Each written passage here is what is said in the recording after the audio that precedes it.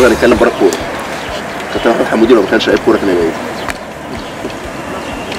business man بيزنس فلوس بقى وبتاع مش مسألة فلوس بس مسألة إن أنا أحب أعمل business خاص ليا كابتن احمد هواياتك إيه بره الكوره؟ بتعمل إيه بره الكوره؟ الهوايات بتاعتي ال- ال PlayStation طبعا مع أصحابي يعني أنا بحب ألعب كل الألعاب عامة إلا لعبة واحدة بس ما بحبش ألعبها ما بتحبش إيه؟ الشطرنج بتحبهاش ما بحبها ما جربتش إن أنا إن أنا ألعبها. بس بتلعب باقي كله بقى ودول آه اي أي حاجة أقدر ألعبها وبحب ألعبها يعني بتعلمها بسرعة. طيب أنت مش بتلعب PlayStation؟ بتكسب مين وبتخسر من مين في لعبه الكورة؟ بصراحة بس. عشان إحنا عارفين. كوره صحابي ما, ما لعبناش كتير يعني. آه ما لعبناش كتير. ميدو جابر. ميدو جابر آه، كسبته قبل كده. كنا بنلعبه فهو كسب بتاع حوالي أربع ماتشات وأنا كسبت أربع مطوشه فطبقنا كل في بعض طبقت. وكسبت أنا في الآخر. كسبت أنت في الآخر. أنا كسبت أنا. الآخر طب مين اللي بيعقدك في ال PlayStation حتى لو بره الكورة؟ لا مفيش مفيش. إيه الأكلة اللي كابتن حم- أحمد حمودي بيضيع في الدم؟ وأنا بحب السمك. عشان أنا اسكندراني فالسمك أنا بحبه جدا.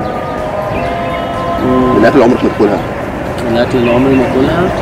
كوارع كوارع طقوسك إيه في رمضان؟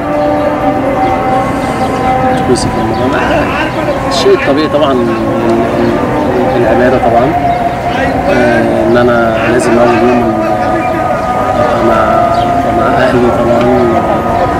نبص كلنا نتجمع أفضل كده يعني إلا لو الظروف شاءت إن أنا أبقى بعيد بعيد عن اسكندرية.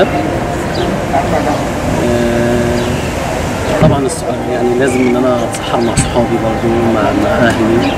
كده أحمد حمودي هادي ولا عصبي؟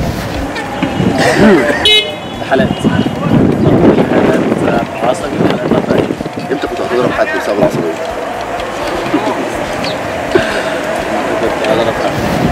لا من فترة كبيرة بس كان خلاص يعني كان عارف اللي هي زي ما بيقولوا الشعر يعني أول مرتب خدته في حياتك عندي كام سنة؟ ولا كان كام سنة وكان كام؟ كان عندي كام سنة؟ كان عندي حوالي 14 سنة ثمن اول عربيه بتاعك ثمن تمنها، عربية آه. ثمنها بالظبط كانت ال- الكيا coupe سوناتا كانت حوالي 120 إيه أصعب موقف مر عليك في الكورة؟ اللي هو الحاجة كده اللي لما تيجي تفتكرها تيجي سيره الكوره كذا. موقف صراحة. إيه لنا كذا موقف. آه، بطولة أفريقيا السنة اللي قبل اللي فاتت. لأن كانت كانت بالنسبة لي حلم جامد حلم السنة اللي فاتت. و... وأنا في بازل. كان في مباراة كنا بنلعبها والكرة اتقطعت مني على ال 18 واتردت علينا بجول. فعشت يوم ما عرفتش أنام. مش عارف أنام حرفيا. بمعنى الكلمة. المدرب قال لك إيه ساعتها؟ ولا أي حاجة. أنا اللي كنت متحمل على نفسي زيادة عن اللزوم. أنا لما بغلط بحمل نفسي فوق طاقتي. أصعب رحلة طيران مريت بيها هي اللي اتشهدت فيها كذا رحلة برضه. كنت أنا والنني مرة. كان ترانزيت لإيطاليا في إيطاليا. وكنا راجعين على مصر. كان معانا مالك كمان. لا كانت كانت رحلة صعبة جدا واتشهدت وأصعب مرة بتاعت آخر مرة جينا من ما عرفنا إن في طيارة اتقلبت كنا مسافرين. اللي هو أنت خلاص بقى أنت بتتشاهد ونفس نوع الطيران اللي أنت مس- مسافر فيه. كانت صعبة كان فيتا كلاب وإحنا جايين من فيتا كلاب